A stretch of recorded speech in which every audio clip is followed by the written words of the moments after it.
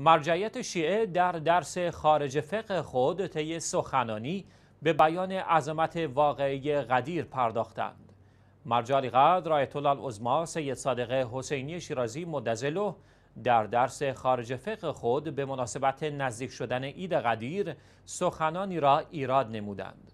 معظم الله طی سخنانی با اشاره به خطبه حضرت رسول اکرم صلی الله علیه و آله در روز قدیر و سختی ها و در عین حال صبری که ایشان در راه رسالت خود متحمل شدند بیان داشتند پیامبر از کفار سختی های زیادی دیدند ولی آنها را نفرین ننمودند اما در روز قدیر شاهد آن هستیم که پیامبر رحمت در حق دوستداران امیر المومنین علیه السلام دعا نموده و دشمنان ایشان را نفرین می نمایند.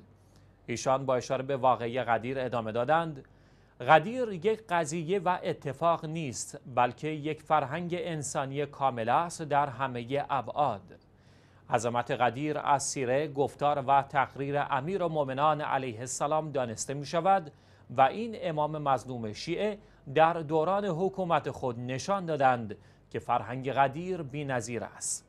معظم الله سپس با درخواست از جوانان که خود برای مطالعه تاریخ اقدام کنند فرمودند در حکومت ایشان یک نفر از گرسنگی جان خود را از دست نداد و زندانی یا کشته سیاسی وجود نداشت در حکومت علی بن ابی طالب علیه السلام هیچ کس در شهر خودش بیخانه نبود چون ایشان زمین را از آن خدا می دانستند. امام علی علیه السلام حکومت را مدیر می دانستند و نه مالک ولی با مطالعه حکومت های بنی عباس و بنی امیه خواهید دید که چند نفر در دوران این حکومت ها جان خود را بر اثر فقر و گرسنگی از دست داده اند.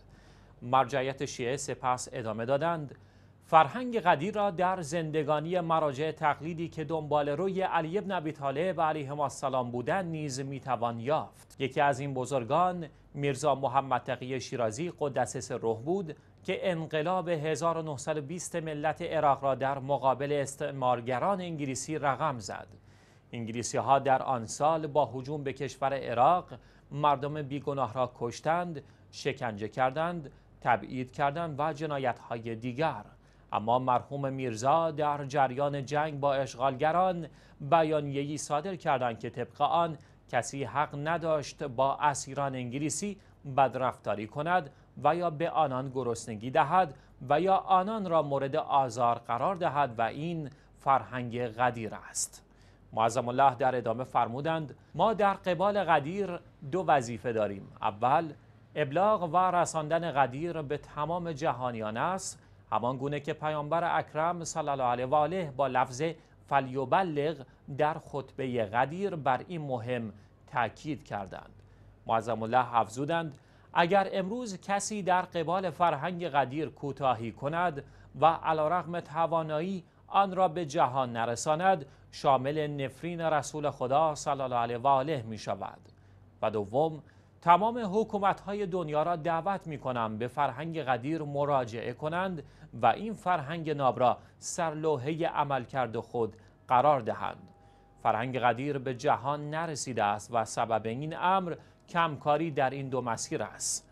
مرجالی قدر آیت الله العظما سید صادق حسینی شیرازی مدزلو در پایان سخنان خود با اشاره به وظیفه شیعیان در راه احیا و انتشار فرهنگ قدیر فرمودند.